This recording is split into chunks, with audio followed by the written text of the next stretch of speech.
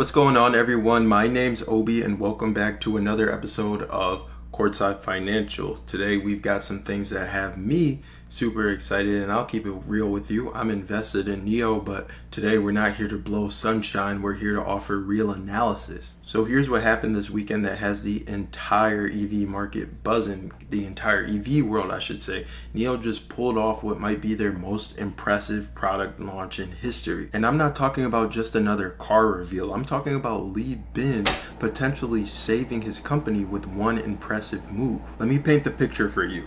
NIO Day 2025 Hangzhou, Li Bin walks out, reveals the third generation ES8, and drops a price that literally made the crowd drown him with cheers. 298,000 ren with their battery as a service rental system. But here's the kicker, and here's where it gets interesting from a business perspective. Within hours of their announcement, their ordering system literally crashed. Not because of technical issues, but because demand was so overwhelming that they couldn't handle the traffic. Li Bin prepared 40,000 units of production capacity for the next three months. Sounds like a lot, right? Well, according to business intelligence from LatePost or insider intelligence from LatePost, they've already exceeded that capacity in pre orders within 48 hours. Now, some people are looking at this and thinking NIO is desperate.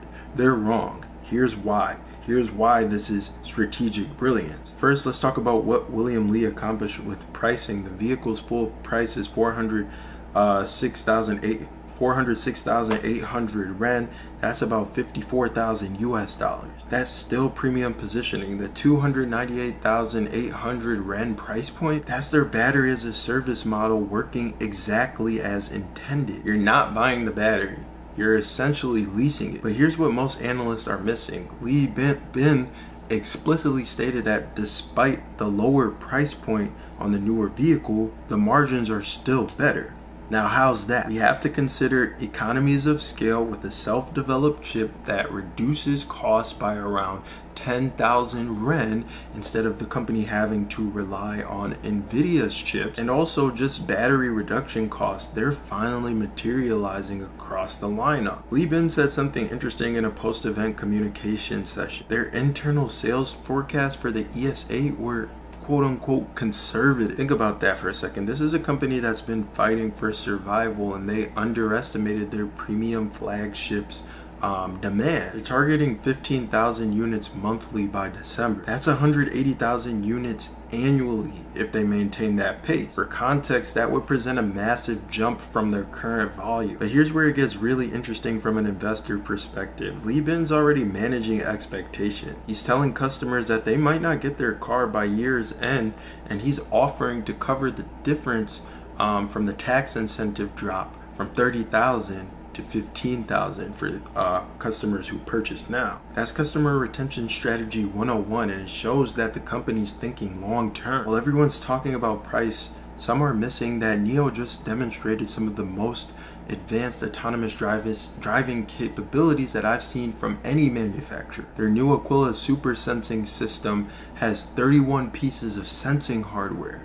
But the real breakthrough is their multivariate autoregressive generative model. I know that sounds like tech jargon, but here's what it means in practice. You could tell your NIO car parked next to the lady in white clothes or take me to that car that we just passed. The car understands context, processes natural language, and executes complex instructions. That's not just autonomous driving, that's AI integration that makes Tesla's current offerings look basic. Here's what this means for NIO and the greater Chinese EV market. I think that NIO just proved manufacturers can compete on luxury, technology, and price simultaneously. They're not choosing one or two, they're doing all three. The ES8 635 kilometer CLTC range, 3.97 seconds 0 to 60 sprint and 5 meter turning radius in a massive SUV. These aren't just good numbers, they're segment leading numbers. Bigger story is what does this do to German automakers? BMW, Audi, Mercedes, they're all looking at a Chinese company delivering comparable luxury,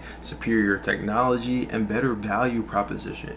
That's not a trend, that's a paradigm shift. Now let's address the elephant in the room. Can NIO actually make money? Li Bin is promising Q4 profitability and the ES8 is supposed to be the key. Here's why I think he might actually pull it off. The vehicle architecture allows them to serve multiple segments. The same platform supports the ET9 Horizon Special Edition starting at 818,000 Ren. That's over $110,000.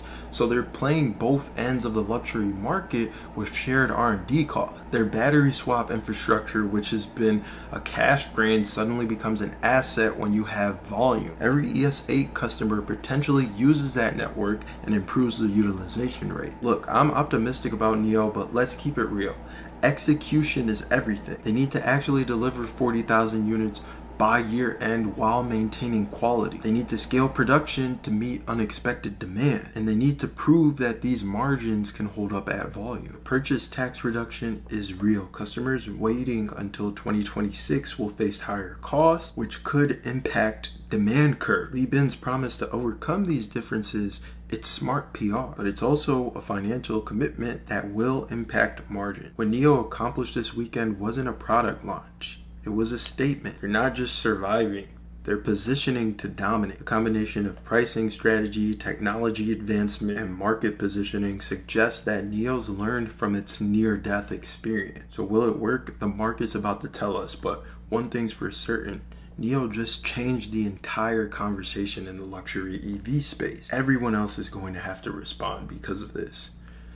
Anyways, that's it for today's episode. I am super happy with NIO. In case you guys can't tell, some of you guys say I'm short, that I'm shorting the stock. If I was shorting the stock, I'd probably never get on YouTube again after, you know, what's been happening as of recently. Anyways, I'm a NIO. I've been invested, watched the channel. I've been talking about NIO for years. Um, it's great to reconnect with you guys. I had a super crazy week as far as business, but I am back producing content. Um, that's it for this episode. Make sure you hit the like button, make sure you hit the subscribe button, leave a comment down below, share the video, and click the notification bell icon. We'll see you in the next episode. Uh, this is Obi with the Courtside Financial Podcast signing off. Happy Happy Monday. Hope you guys enjoy the evening. Goodbye.